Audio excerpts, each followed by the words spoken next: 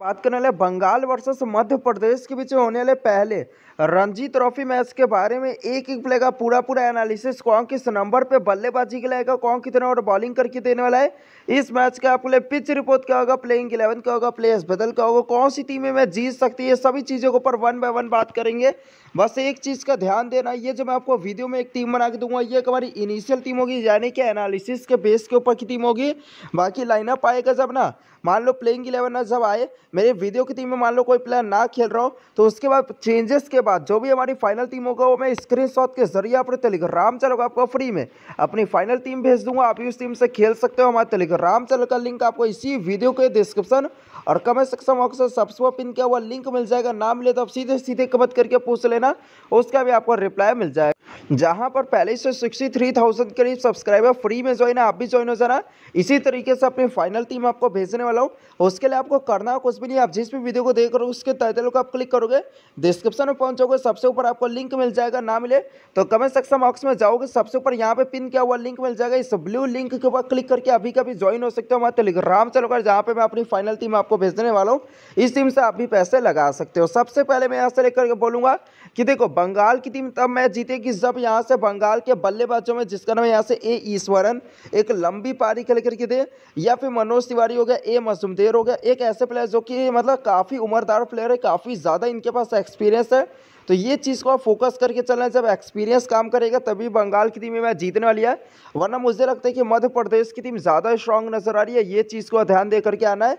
मध्य प्रदेश की टीम अपना पहला मैच हार करके आ रही है, वहीं बंगाल की टीम ने इस सीज़न में जो अपना आखिरी मैच खेला है ना, जीत करके आ रही है, ये चीज़ को फोकस करके चलना है। सबसे पहले ए ईश्वरन हो गया, रजत पादी यहाँ से दार हो गया, ए पोरेल हो गया, शहबाज अहमद हो गया, यहाँ से आपके आकाशदीप हो गया आवेश खान हो गया, मुकेश कुमार हो गया के कार्दिया हो गया, ये चारों ही अच्छे बॉलर है। आकाशदीप की बात करो, आपने आईपीएल में इसको भी खेलते हुए देखा होगा आवेश खान को भी आपने आईपीएल में खेलते हुए देखा होगा दिल्ली की टीम के लिए मुकेश कुमार को भी आपने आईपीएल में, चेन्नई की टीम के लिए खेलते हुए देखा होगा। तीनों ही बड़े लेवल के प्लेयर्स है, तीनों ही आपको बॉलिंग से अच्छी बॉलिंग करके देने वाले। ये तीनों में से कोई एक ऐसा बॉलर ज़रूर होगा जो कि आपको 120 से ज़्यादा पॉइंट्स ला करके जाएगा। मैं कहूँगा दो ऐसे बॉलर्स होंगे जो कि 120 के करीब पॉइंट्स दिला करके जाएगा और एक ऐसा होगा जो कि आपको 80 करीब पॉइंट्स दिला करके जाने वाला है। यानी कि तीनों प्लेयर्स आपके लिए काफ़ी ज़रूरी प्लेयर रहेंगे। तीनों प्लेयर्स आपके लिए ऐसा वीसी के अच्छे प्लेयर रहेंगे। अगर आपको लग रहा है कि बंगाल की टीम में जीतने ले तो मुकेश कुमार और आकाशदीप, और अगर आपको लग रहा है कि मध्य प्रदेश की टीम में जीतने वाले आवेश खान भी एक अच्छा बॉलर आपके लिए बन सकता है। के कार्तिक को इसलिए लेकर के चल रहा हूँ क्योंकि कहीं ना कहीं मध्य प्रदेश की टीम ज़्यादा स्ट्रॉन्ग नज़र आ रही है। तो इसके पास जो भी बॉलर होगा, वो एक अच्छी बॉलिंग करके दे सकता है। ईशान पटेल की बात करो, नया प्लेयर है। इसने भी बड़े लेवल का मैचेस खेल रखा है। बाकी मुझे लगता है कि ये यहाँ पे बॉलर्स को कोई ज़्यादा वो नहीं मिलेगा। मतलब एक विकेट की जो है, सिर्फ़ सोलह पॉइंट्स मिलेंगे। तो मान लो अगर किसी ने पाँच विकेट भी ले लिए तो कोई ज़्यादा पॉइंट्स नहीं होगा। यही रीज़न है कि ईशान पोरेल को ना लेकर के किसी बल्लेबाज कुलदीप सेन अगर इसको प्लेइंग इलेवन में खिलाया जाएगा ना तो आप इसको लेकर के चल सकते हो। जिस तरीके की बाउंसर फेंकता है आईपीएल में ये भी खेल चुका है। कुलदीप सेन की अगर मैं बात करूँ, आपने आईपीएल में खेलते हुए देखा होगा राजस्थान रॉयल्स के लिए। एस जैन की बात करूँ, कई बार ये बल्लेबाजी में भी आपको रस बना करके दे सकते हैं। बल्लेबाजी में भी सिक्स रनों पे आ जाएगा। जी यादव की बात करूँ तो ये मेनली जो बॉलर है बॉलिंग से आपको लगा लगा दस, पंद्रह, बीस ओवर की करीब बॉलिंग करके दे सकता है। बाकी यहाँ से कोई भी इतना अच्छा प्लेयर है नहीं। यहाँ से मैं आपको कहूँ आपके लिए एक अच्छा प्लेयर रहेगा संचित शर्मा और दूसरा यहाँ से रहेगा ए अग्रवाल। ये अनुभव अग्रवाल, ये दोनों में से आपको किसी एक ही प्लेयर को लेकर के चलना है। अनुभव अग्रवाल की बात करूँ, जिस तरीके से रिसेंटली मैचेस में बॉलिंग करके दिया हुआ ना तो वहाँ पे आपके लिए एक अच्छा दावेदार बन जाएगा। लेकिन अगर मान लो बॉलिंग से ज़्यादा ओवर ही ना मिले, ज़्यादा मौका ही ना मिले तो वहाँ पे आपके लिए बहुत बुरी तरीके से फ्लॉप भी हो सकता है। लेकिन शुभम शर्मा जो कि मेनली बल्लेबाज है। बल्लेबाजी में तीसरे पाएगा हर मैच आपको तीस, चालीस रन आराम से हर इनिंग में बना करके दे रहा है। यानी कि अगर एक मैच से दो इनिंग में इसको मिल जाएगा तो किसी ना किसी इनिंग में आपको सत्तर रन के करीब बना करके दे सकता है और सौ प्लस पॉइंट्स आपको आसानी से दिला करके चला जाएगा। अब बल्लेबाजी कई बार बॉलिंग से भी इसको अच्छे खासे विकेट मिल जा रहे हैं। एक घटा को भी प्लेइंग इलेवन में खिलाया जा सकता है। मेनली जो है बॉलर है, बल्लेबाजी में कोई उम्मीद नहीं करना है।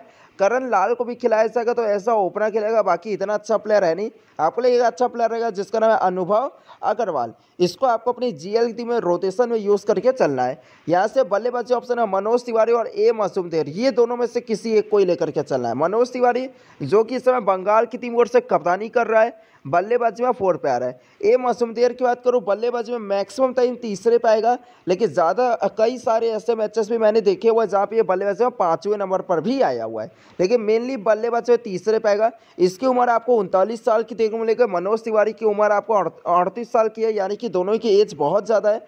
तो दोनों के पास एक्सपीरियंस लेवल भी क्रिकेट के हिसाब से काफ़ी ज़्यादा है। इन दोनों में से किसी को लेकर के चल सकते हो। ऐसे यहाँ से घरामी। जो कि बल्लेबाजी में मेनली तीसरे नंबर का प्लेयर है। अगर ये तीसरे पे आएगा ना तो वहाँ पे ये मसूमदेर अपने आप को मतलब इसके बल्लेबाजी क्रम नीचे करके पाँचवें नंबर पे भेजा जा सकता है। एक इसी वजह से मैं आपसे कह रहा हूँ, ए श्रीवास्तव बल्लेबाजी में सिक्स पाएगा इतना अच्छा प्लेयर रहेगा नहीं, यहाँ से कोई भी अच्छा है नहीं। आपको ये दोनों में से किसी को लेकर के चलना है, बाकी मैं यश दुबे को लेकर के चलूँगा।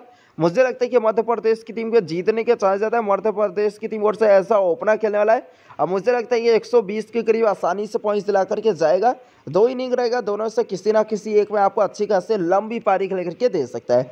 एच, यहाँ से मंत्री की बात करो बल्लेबाज सिक्स पे आएगा, सिर्फ़ और सिर्फ़ ऐसा विकेट कीपर खेल रहा है, बिल्कुल भी अच्छा ऑप्शन रहेगा नहीं। आपको इन दोनों में से किसी एक ही को लेकर के चलना है, जो भी आपको ज़्यादा अच्छा लग रहा हो। यहाँ से मनोज तिवारी मजूमदेर में समय ए मजूमदेर को लेकर के चल रहा हूँ। क्योंकि मुझे लगता है कि बंगाल की टीम अगर मैच हारेगी तो उसका कैप जो होगा, फ्लॉप होने के चांसेस रहेंगे। कैप इसी में लेकर के चलने वाला हूँ। सबसे पहले यहाँ से लेकर के चलूँगा कैप के लिए। यहाँ से देखो, दो अच्छे प्लेयर रहेंगे, एक यहाँ से रजत पादित और दूसरा ए ईश्वरन। और तीसरा अच्छा प्लेयर आपको यहाँ से देखने मिलेगा मुकेश कुमार और यहाँ से आकाशदीप। ये चार वो प्लेयर्स है ना, ये चार अगर आपको लग रहा है कि ये मैच जीतने वाली अगर आप देखोगे यहाँ से मध्य प्रदेश की टीम वन साइड जीतेगी, आसानी से जीतेगी तो अवेश खान आपके लिए एक अच्छा प्लेयर रहेगा। बाकी मैं आपको कहूँगा, बल्लेबाजी ऑप्शन आपके लिए यहाँ से रजत पाटीदार और यहाँ से ईश्वरन बॉलिंग ऑप्शन है अवेश खान, मुकेश कुमार और उसका आकाशदीप। ये तीनों प्लेयर आपके लिए अच्छे प्लेयर रहने वाले ये दोनों प्लेयर्स में से किसी को ऐसा कैप लेकर के चलना, और ये तीनों बॉलर्स को ऐसा वीसी लेकर के चला आप जीएल की रिस्की टीम बना रहे हो। अगर आप जीएल में क्या वीसी का कॉम्बिनेशन कॉम्बिनेशन ले रहे हो, शहबाज अहमद की बात करूँ, बल्लेबाजी से कोई ज़्यादा रन बना करके दे नहीं पा रहा है। और बॉलिंग करने का कई बार ज़्यादा मौका मिल नहीं रहा है। मैं इसको लेकर के ना चल के रजत यहाँ से पाटीदार को कैप और यहाँ से मुकेश कुमार को ऐसा वीसी अभी के लिए लेकर के चल रहा हूँ। बाकी एक हमारी इनिशियल टीम है जो कि लाइनअप आने से पहले की टीम है। जैसे ही प्लेइंग इलेवन आएगा, उसमें बहुत सारे चेंजेस हो सकते हैं। तो उसके बाद जो भी हमारी फाइनल टीम होगा, मैं स्क्रीन के ज़रिए अपने टेलीग्राम से आपको फ्री में। अपनी फाइनल टीम भेजूँगा, जिसका लिंक आपको इसी वीडियो के डिस्क्रिप्शन और कमेंट सेक्शन बॉक्स से सबसे वह पिन किया हुआ मिल जाएगा, ना मिले तो आप सीधे सीधे कमेंट करके पूछ लेना, उसका भी आपको रिप्लाई मिल जाएगा। उसके अलावा अगर आपको ये वीडियो अच्छा लगा तो सब्सक्राइब ज़रूर कर लेना। आपके लिए फ्री का लाल बटन इसके लिए हम बहुत ज़्यादा मेहनत करते हैं। उसके अलावा मैं अपने पूरे पैसे लेवन चैलेंजेस पे लगाना लो लेवन चैलेंजेस ऐप को आपको फैंटेसी के दूसरे किसी भी ऐप पे हज़ार रुपये का कोई कॉन्टेस्ट ज्वाइन करोगे ना तो यहाँ पे वही सेम कॉन्टेस्ट आपको नौ सौ का मिल जाएगा। लेवन चैलेंजेस पे अगर आप खेलोगे तो फैंटेसी में अगर आपके बहुत ज़्यादा लॉस हुआ हो तो मेरे कहने में एक बार खेल करके देखो, आपका बहुत सारा लॉस कवर हो सकता है। लेवन चैलेंजेस ऐप जहाँ पे मैं अपने पैसे लगाने वाला हूँ, उस ऐप का लिंक आपको इसी वीडियो को डिस्क्रिप्शन मिल जाएगा। जो अभी कभी वहाँ से डाउनलोड करके आप मेरे साथ खेलना शुरू कर सकते हो।